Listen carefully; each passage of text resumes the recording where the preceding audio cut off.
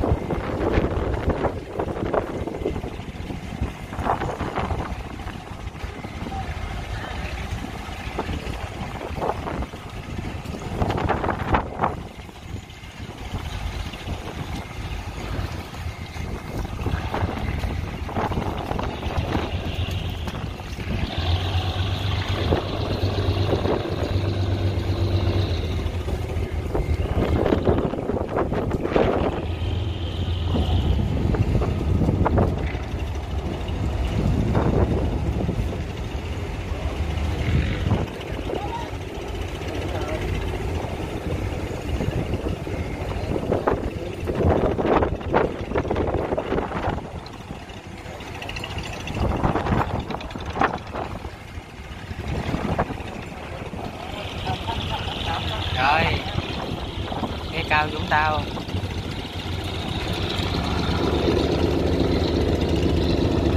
Chuẩn bị xuất bến các bạn ơi.